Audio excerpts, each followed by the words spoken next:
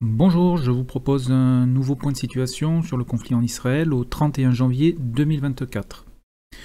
Alors tout d'abord, pour les informations régionales, les outils continuent d'attaquer les navires marchands et les tankers en mer Rouge.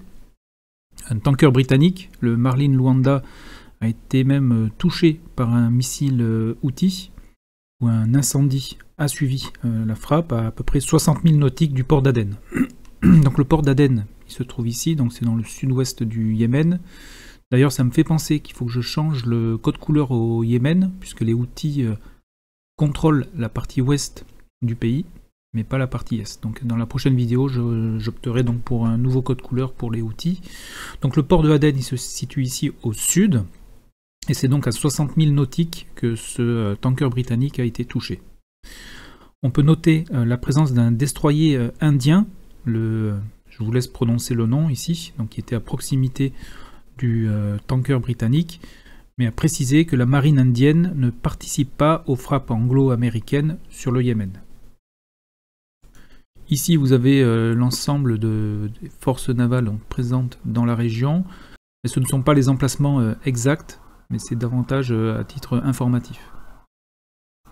De leur côté, les Américains et les Anglais continuent leurs frappes sur les positions donc, des outils, les frappes sont essentiellement menées depuis les navires de surface, ici, et ainsi que les avions anglo-américains. En parlant des navires, le destroyer euh, Laboon américain, qui est ici, donc qui est de la classe euh, Burke, a battu un missile anti-navire euh, outil qu'il avait pris pour cible au 15 janvier 2024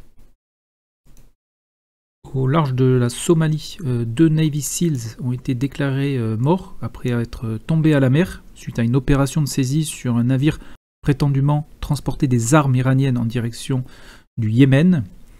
Donc après dix jours de recherche, euh, les deux Navy SEALs n'ont pas été retrouvés et ont donc été déclarés morts. Ce qui en fait les premières victimes américaines depuis le début de ces conflits dans cette région. Ensuite, en Irak, euh, la région de Erbil a été bombardée. Donc, la région d'Erbil, c'est une région qui est au nord de l'Irak, plus précisément au Kurdistan. Un drone américain Reaper a été abattu à proximité de Bagdad. Donc Bagdad, c'est ici, c'est la capitale donc, de l'Irak. Donc un drone américain a été euh, abattu. La base américaine d'Al-Assad a également été bombardée. Donc cette base américaine, elle se situe à l'ouest de Bagdad, ici euh, exactement. Euh, pas de victimes à signaler côté américain sur cette base. Par contre, en, Syrie, ici, la base américaine de At-Tanf, donc qui se trouve ici, a elle également été bombardée, et plus précisément par un drone kamikaze Shahed. Et cette frappe donc, de drone kamikaze a tué trois soldats américains et en a blessé plus d'une quarantaine. Et information qui reste à confirmer, donc ces soldats appartiendraient à la garde nationale d'Arizona. Toujours en Syrie, l'aviation israélienne a mené euh, de nouveaux raids sur euh, Damas, Damas qui est ici, et dans une de ces attaques, cinq militaires euh, du corps des gardiens de la révolution islamique auraient été tués, et parmi eux se trouverait le responsable du renseignement iranien en Syrie, et cette information a été démentie par la partie iranienne. On va maintenant se diriger sur la bande de Gaza. On va commencer avec la partie nord. Alors la partie nord de la bande de Gaza, ici l'armée israélienne a terminé sa phase militaire donc de conquête de cette zone, mais les combattants du Hamas ont maintenant adopté des méthodes de guérilla, et donc sans affronter directement les militaires israéliens, ils continuent de les harceler et de leur tendre des embuscades. Donc on ne peut pas affirmer que l'armée israélienne contrôle ce secteur à 100%. D'ailleurs, j'ai rajouté en vert ici les euh, secteurs où ces actes de, guérilla euh, ont lieu dernièrement. Donc vous voyez dans plusieurs euh, quartiers de la bande de Gaza. Maintenant, quand on se dirige vers le centre de la bande de Gaza, ici un bombardement aérien israélien a eu lieu donc, dans le quartier de Nouzeirat, ici au 26 janvier et un petit peu plus euh, au sud-ouest également ici, euh, la même date au 26 janvier. Ce qu'on peut constater dans cette partie centre de la bande de Gaza, c'est qu'il y a eu peu d'évolution ces trois dernières semaines. Les secteurs contrôlés par les brigades Al-Qassam ont légèrement diminué et on note un encerclement ici sur Burej.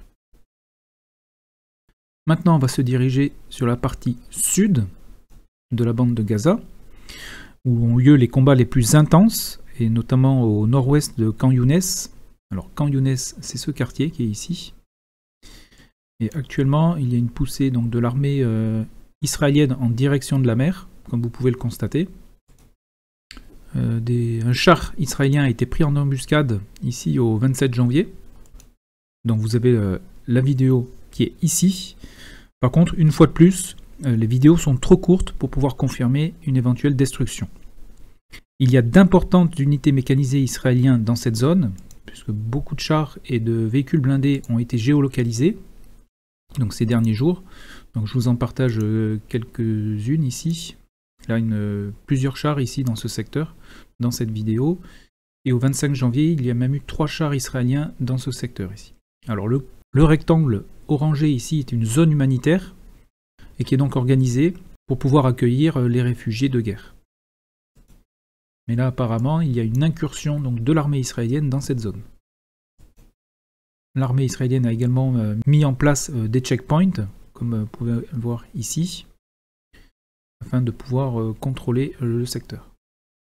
Et une fois de plus, sur Camp Younes, ici, des combattants du Hamas ici sont actuellement encerclés. D'après le Jérusalem Post, 21 soldats israéliens ont été tués dans la destruction d'un immeuble, et selon une autre source, euh, ces soldats étaient en train de miner le bâtiment quand une roquette du Hamas a fait exploser l'ensemble du bâtiment. Par contre, je n'ai pas trouvé de géolocalisation euh, de cet événement. Et il faut également euh, préciser que lorsqu'on parle d'encerclement dans la bande de Gaza, tout est relatif, car pour rappel, le Hamas utilise des tunnels souterrains. Donc voilà pour la bande de Gaza. Donc pour récapituler, le nord Ici, euh, de nombreuses opérations de guérilla sont menées par les brigades Al-Qassam. Peu d'évolution dans le centre, mais on note une euh, évolution un peu plus significative dans le sud, ici dans le quartier de Khan Younes, où les combats continuent. Nous allons maintenant nous porter à la frontière nord avec le Liban, ici où les bombardements mutuels continuent. Tsahal est en train de redéployer de nombreuses unités à la frontière avec le Liban et des exercices militaires israéliens sont actuellement en cours à la frontière. En Cisjordanie, donc ici, l'armée israélienne a mené une grande opération euh, de sécurisation, euh, notamment sur Naplouse, donc ici où 25 personnes ont été arrêtées, et également à Kalkilia, qui est plus à l'ouest, ici à la frontière avec Israël, où il y a eu des échanges de tirs d'armes légères. La ville de Tel Aviv, qui se situe ici, a été bombardée par des roquettes du Hamas. Donc malgré l'intervention de l'armée israélienne dans la bande de Gaza, le Hamas continue à lancer ses roquettes. Donc voilà pour les informations au 31 janvier 2024. Donc en résumé, les bases et les militaires américains en Syrie et en Irak font l'objet de plus en plus d'attaques. Premiers militaires américains ont été tués dans ces bombardements, et à cela, les États-Unis vont renforcer leur présence militaire dans la région. On parle de 1500 hommes en renfort en Syrie et en Irak. Les États-Unis sont en train de préparer euh, leur riposte contre l'Iran après la mort de ces soldats, suite euh, à la Shahed, car les États-Unis ont clairement pointé du doigt la responsabilité iranienne dans cet acte. Et donc pour finir, je vous partage une carte de la présence des forces américaines au Moyen-Orient, donc comme vous pouvez le voir euh, à l'écran. Donc on peut constater qu'en Syrie, il y a 2000 hommes américains, en Irak 6000, en Jordanie 3000, tout comme en Arabie Saoudite. Par contre, les contingents les plus importants se trouvent au Koweït et au Qatar, avec 13 000 soldats chacun. Au Bahreïn, 7000. Les Émirats arabes unis, 5000. Et un petit contingent de 600 hommes à Oman. Donc l'armée américaine est présente dans quasi tous les pays de cette région. Voilà, et eh bien écoutez, je vous souhaite une excellente journée. Encore merci et je vous donne rendez-vous dans la prochaine vidéo.